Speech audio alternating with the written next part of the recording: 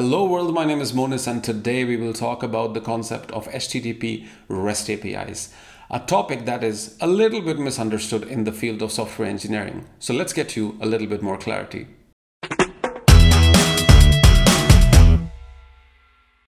All of us use the internet and we are quite well versed with typing in a website address and browse the websites. Some of you might know that these internet addresses are also called URLs which stands for Uniform Resource Locator, where resource is just a fancy name for data. So this resource or data could be anything like a PDF, a web page, an MP3 song, a text file, or even a video. So when you type in the URL and press enter, your browser sends a request to the web address by saying, hey, send me the resource you have on this URL.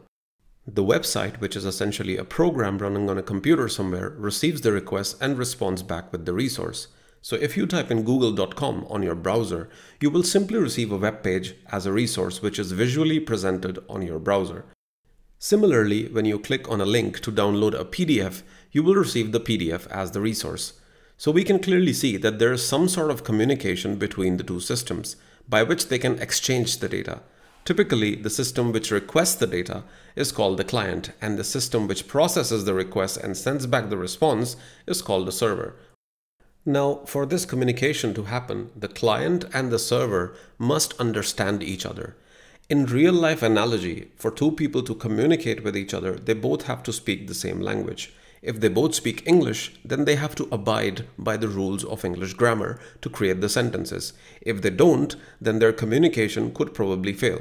For example, the sentences the cow eats grass and grass cow eats the has exactly the same words, but the latter one doesn't make much sense because it doesn't abide by the protocol of English grammar.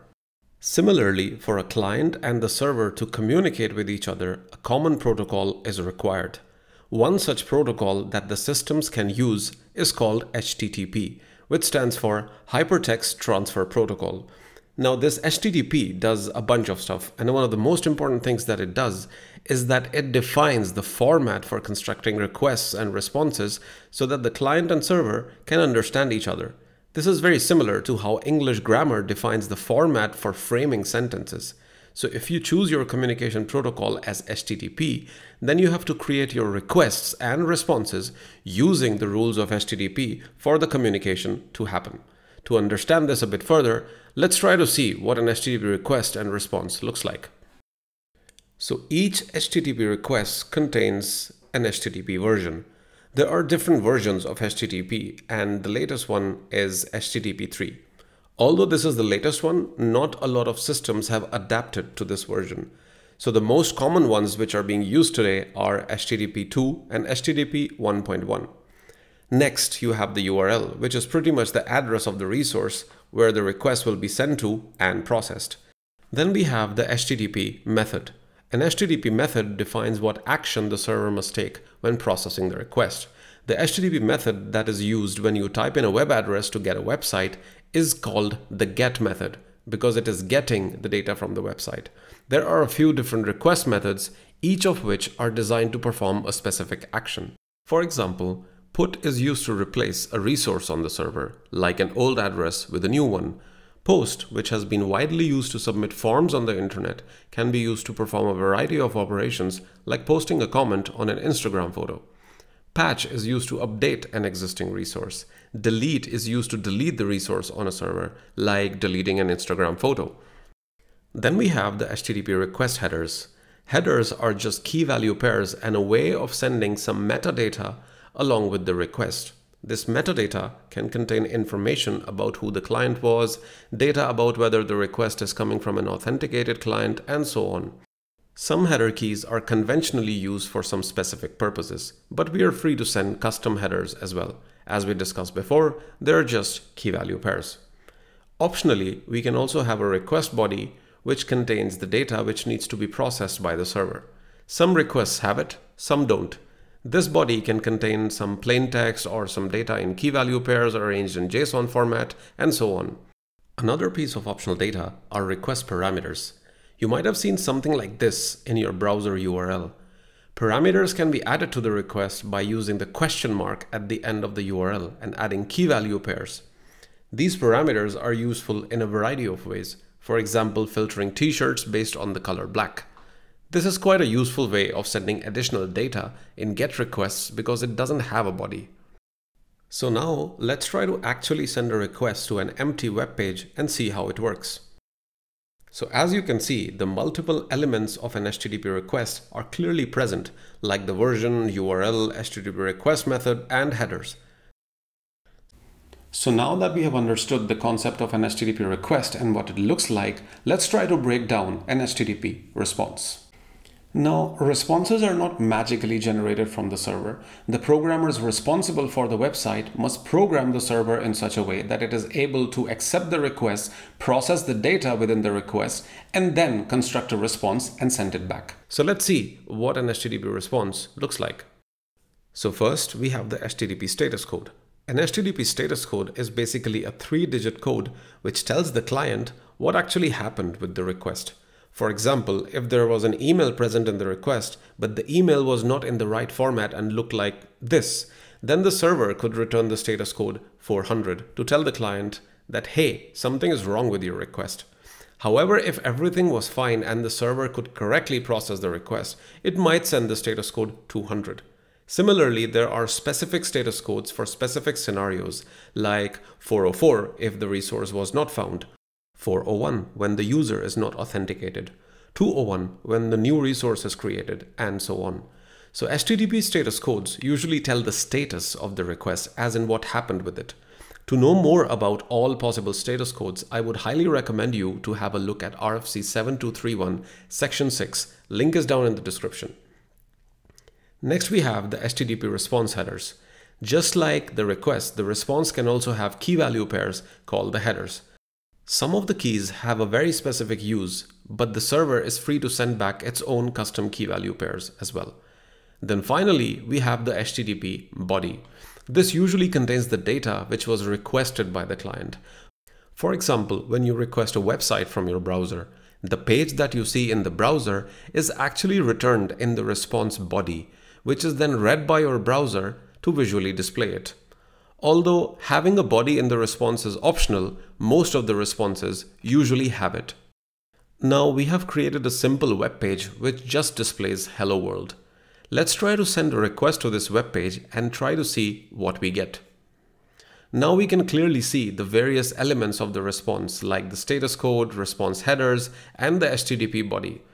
Now that we are clear on the concept of HTTP request and response, let's talk a little bit about a concept called statelessness. By design, all HTTP requests are stateless. This means that each request is independent of the others. No request is aware of what others did before the current one. Let me explain this with an example. Imagine a request which adds an item to the user's cart. The request could look somewhat like this. Now here, the request only knows three things. The ID of the user, the ID of the product, and the quantity which is added to the cart. If a user runs the request and adds an item to the cart, then the request itself has no information of what happened in the previous request. So the first time you execute this request, the item is added to the cart. You run it one more time, the request doesn't have any information about what this user did before, but when the request reaches the server, the server checks whether the item was already there in the cart or not. If yes, then it updates the quantity. If not, it just adds item to the cart. Throughout this whole journey, the request was completely oblivious to the user state as to how many items are there in the user's cart. This is precisely what we call as statelessness. Now that we are aware of the concept of request, response, statelessness, let's try to understand what exactly is an API. So first, think of a car. A car has accelerator and brakes among other things. You know that if you press the accelerator, the car will speed up. And if you press the brakes, the car will slow down. You don't need to know what's going on behind the scenes or the mechanics of an engine. Similarly, API is simply a way for a system to expose certain actions which help a client create, read, update, or delete a resource on the server. The client doesn't need to know how this happens.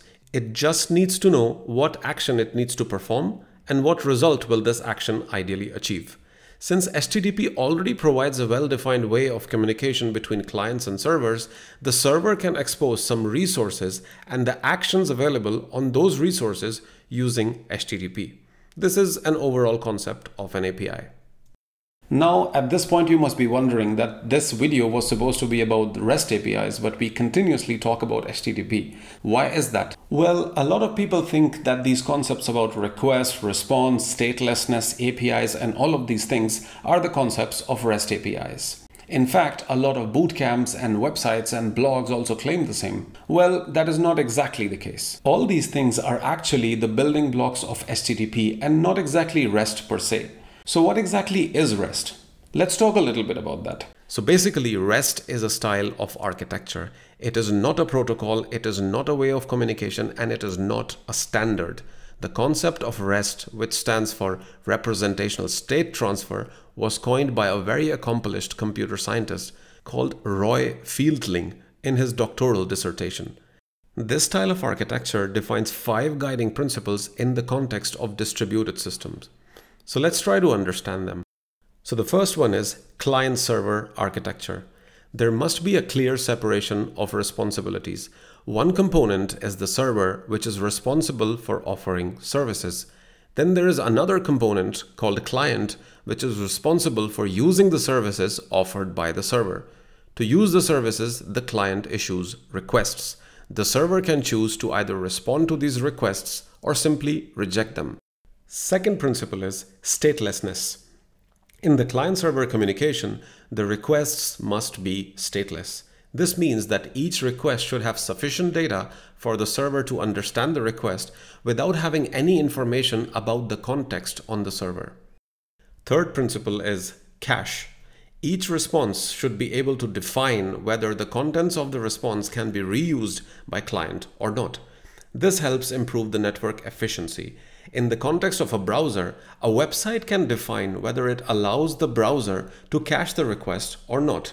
If yes, the browser can store the response and can skip calling the server next time the request is made. If not, the browser sends the request to the server again. Fourth is uniform interface. The server must offer a general interface using which the clients can request to perform actions on the server.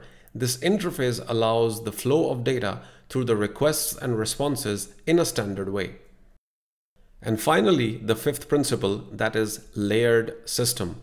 This is more about how a server is organized internally. A layered system divides the server responsibilities internally, like load balancing, security, actual functionality, and so on. In today's world, microservices architecture would be a great example for a layered system. So now that we know the guiding principles of REST, let's try to connect this information with the topics that we discussed earlier. So first, client-server architecture. HTTP already conforms to that. Same is the case with statelessness. HTTP is stateless. So for abiding by these two principles, HTTP is a really good fit. Now when we talk about cache, the server should be able to control which resource it allows the client to cache and which it doesn't. The server can add a header with a key called cache control, which can be read by the client or the browser so that they can see whether they are allowed to cache the resources or not. If yes, then for how long? So this principle can also be easily implemented using HTTP response headers. Now coming to the uniform interface, this principle precisely follows the definition of an API. With HTTP, this principle can also be implemented by the server to allow only certain actions on certain resources in a standardized format. For example, for adding an item to the cart, you have to send the product ID in the request. If you simply send the name of the product, the server will reject the request and the item will not be added to the cart. This standard is the same throughout the millions of users of an e-commerce website. Coming to the final principle, that is layered system. This has less to do with HTTP and is more about how you design your architecture in multiple layers. Layered architecture is a simple hierarchical architecture where each layer uses the services of the layer below it and offers services to the layers above it. For example, within an application, the persistence layer uses the services of the database layer and offers services to the business layer. Similarly, this concept can also be used in a microservices architecture where each service has its own unique responsibility.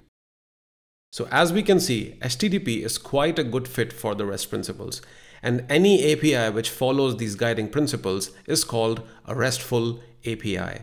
So there you have it, the fundamentals of HTTP and REST. Write down in the comments below if you have any questions. See you in the next video. Bis done.